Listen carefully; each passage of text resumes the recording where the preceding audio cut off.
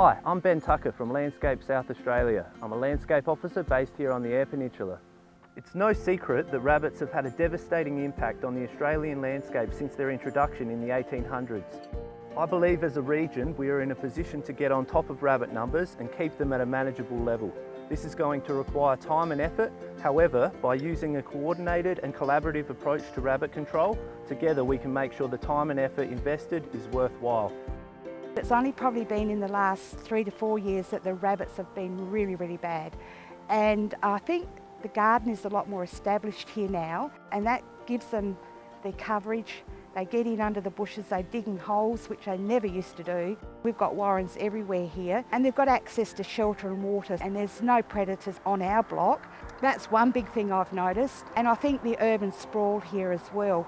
There's so many more homes going up, hence more gardens, then I think the rabbits are moving in. They've just got it perfectly made, the environment.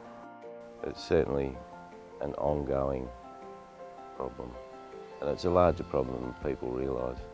I think it seems to have gone away but it hasn't gone away and they're everywhere from, from your roadsides to conservation parks. It's hard work. Uh, if you think you're just going to be able to get rid of the rabbits easily, no you won't. It takes a long time and it takes a lot of commitment. Uh, it takes a lot of resources. We haven't eliminated them yet, but we've reduced them significantly. I think it's that long journey. Take the long journey, be, pre be prepared to put the effort in, and hopefully you'll win in the end. That's what we plan to do.